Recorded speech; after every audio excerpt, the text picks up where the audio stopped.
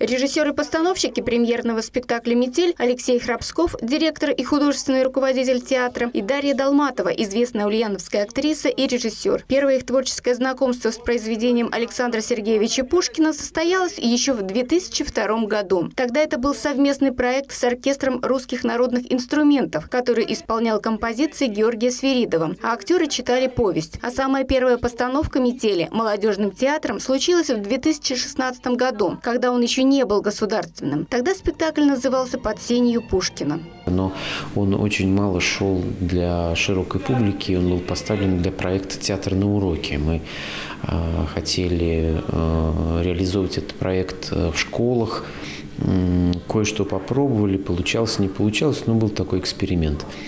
Но сейчас мы восстановили уже в новой версии, скажем так, эту постановку для городского зрителя. В основе спектакля классический сюжет повести. Внезапно разыгравшаяся метель не дает добраться одному жениху до своей невесты и приводит к ней совершенно другого. Это не пьеса, это прямо текст Пушкина. То есть мы не дописывали Александра Сергеевича, мы никогда не возьмемся за это. Потому что что бы мы ни сделали, я уверен, у нас лучше не получится.